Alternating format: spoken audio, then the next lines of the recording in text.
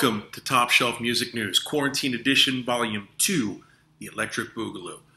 I'm your host, Matt Cook. And I'm Kristy Rose, yeah. Where the hell are you now, Kristy? Oh, well, they said to isolate, don't you know? So I went to the most desolate spot I could think of, Nunavut, Canada. Yeah. Between the murder codes and the murder hornets and the conflicting government action, I just wanted none of it, yeah. Okay. First off, I believe it's pronounced Nunavut, Canada. Oh, yeah? Well, you probably just couldn't understand what I was saying because I was talking all Canadian, yeah. Mm hmm. Don't you know? That, that accent is Minnesotan. You, you know, never just just enjoy the summer temperatures. Oh, you betcha. You know, it's negative below Celsius today here to beat the COVID. The polar bears have been asked to wear face masks at the retail stores, though. Mm hmm, you betcha. In other more accurate world news, a lot has happened in the music industry since the worldwide shutdown, leading a lot of artists to raise funds via live stream. The champ among them, Post Malone, raised 800,000 for COVID relief in one day, then made another 4 million playing Nirvana covers in his living room. The heavily face tattooed rapper now wants to just give a million away to let his fans spend it for him. And nothing says you have too much money like letting other people spend it for you. From fans to artist, back to fans. Spend away, but we're spending in circles.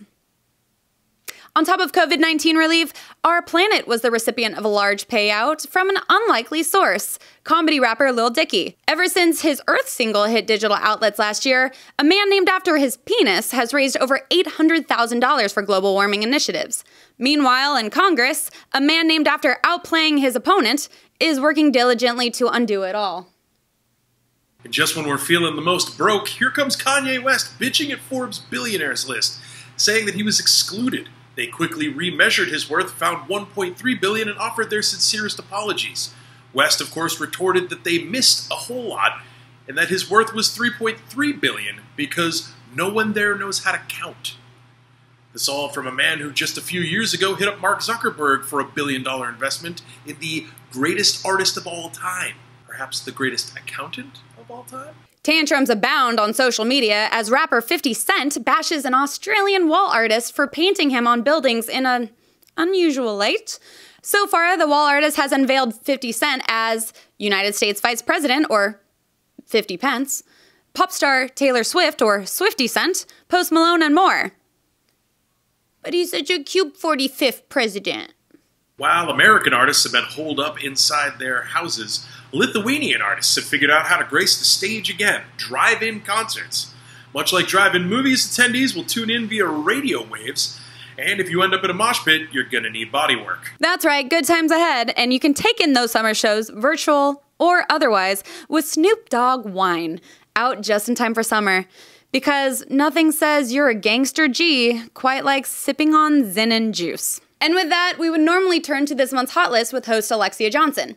However, with new COVID 19 restrictions popping up every hour, we have made the executive decision to not be within any distance of anything remotely educational until further notice.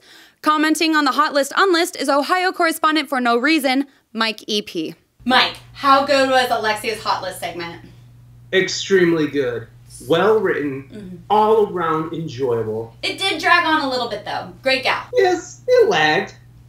Great gal. Great gal. And her hair is so pretty and shiny, healthy. So pretty. Yeah, and the sets she designed was so nice with the ambiance. And an excellent list of up and coming bands. Such a great segment.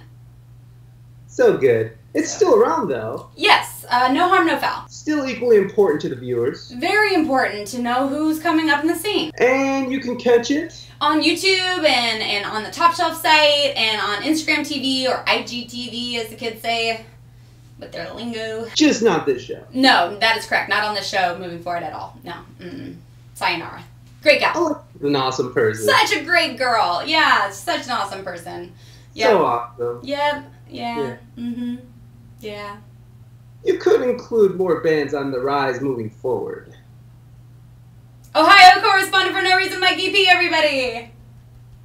Luckily, everything on this show is hot, including myself.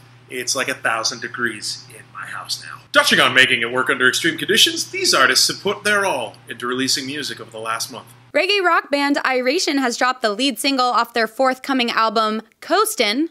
Yeah, We all are, bro. Entitled Right Here, Right Now, the track enlists the help of Eric Rachmany of Rebelution and Stick Figure, both heavyweights in the reggae rock scene. Because what would Ringo's With a Little Help from My Friends be without Lennon and McCartney picking up the slack? Whoa! Harsh. Over the line.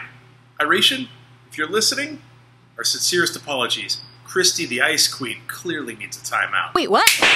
That's better.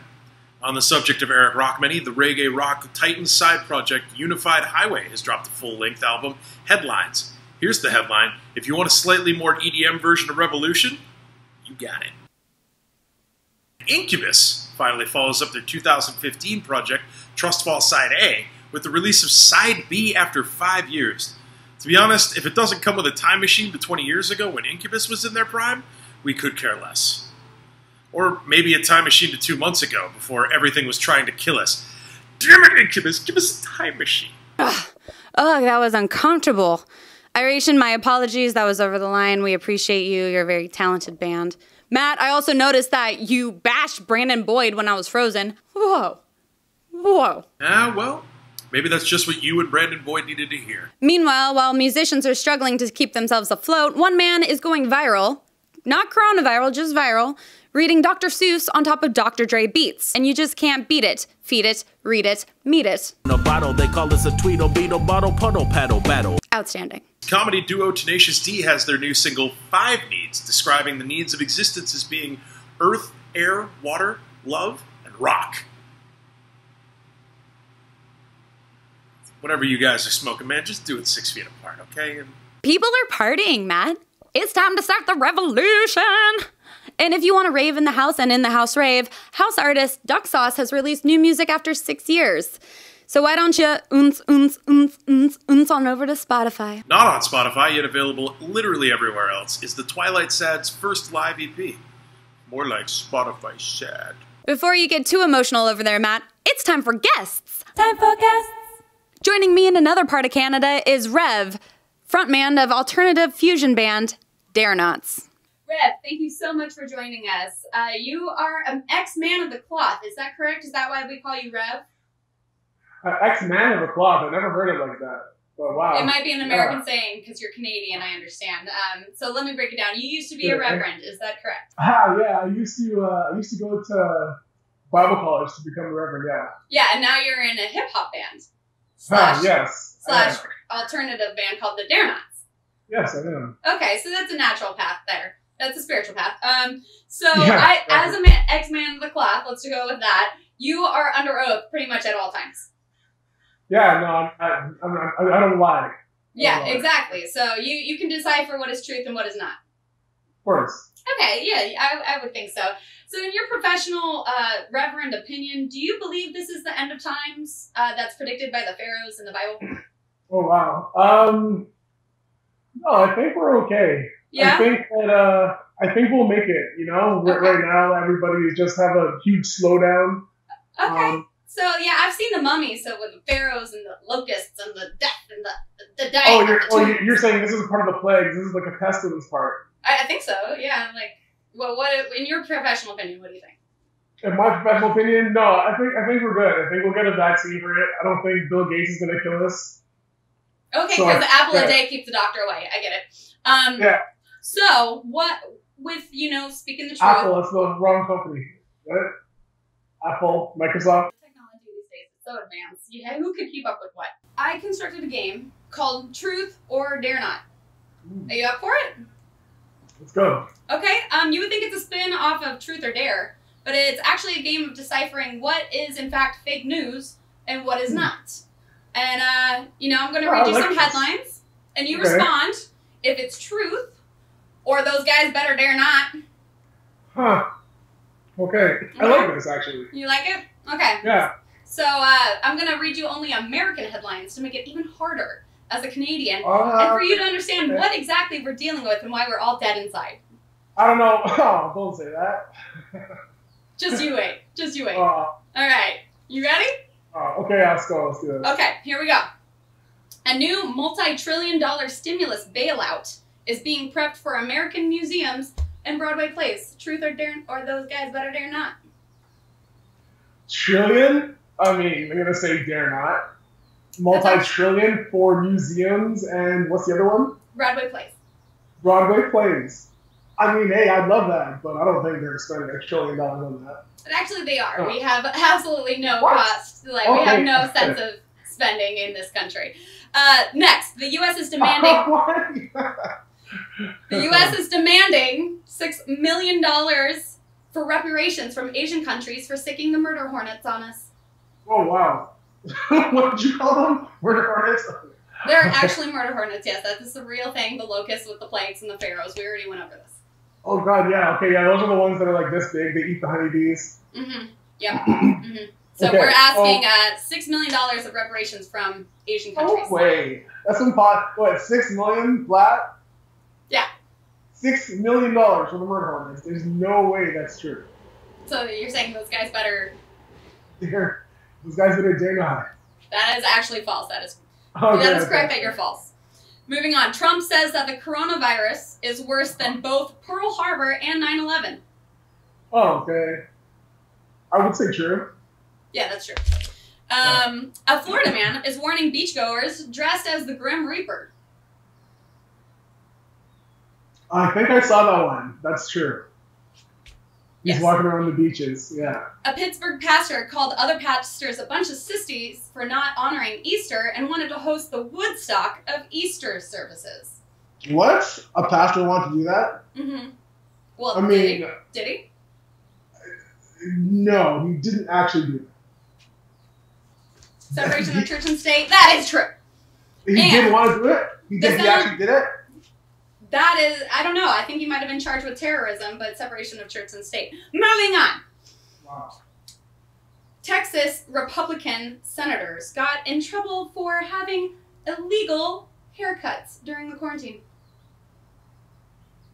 Okay, who did senators? Texas Republicans, yes. hmm Oh, oh, I'm sorry. Texas Republicans got Yeah, charged. gotta get the flat tops. hmm Oh yeah, obviously. Yeah, yeah. What? How else would they wear their cowboy hats if it doesn't fit right? Okay. The sound of a toilet flushing was said to be heard during a remote Supreme Court oral argument, causing even more confusion on the case. Okay, so a toilet was flushing. How does that happen? No, it didn't. Or okay, Someone was multitasking. That is true. Actually, all of these are true except for the murder hornets, um, because our country is broken and we should start Oh. repenting before the rapture comes. Anyways, with that in mind, thank you so much for joining us. Rev up Darenots, everybody. Thank you for having me. Music news is much better anyway. Before we wrap this up, do you have a song that's stuck in your head, Kristy? Matt, I'm glad you asked. Two remixes have surfaced during this quarantine time that deserve equal praise. On the one hand, we have Nicki Minaj joining Doja Cat on her number one single, Say So. That's at the top of the charts. And on the other, Beyonce joining Megan Thee Stallion on a Savage remix. It's a hip hop royalty showdown. Who's to win? Who's to know? All I know is between the two, I'm leaning towards Queen Bee and Stallion. Because when bees and stallions team up, they might just beat this quarantine. An undeniable combination. So is being classy, bougie, ratchet. Until next month, thanks for tuning in. Good night. I have no idea how to get home.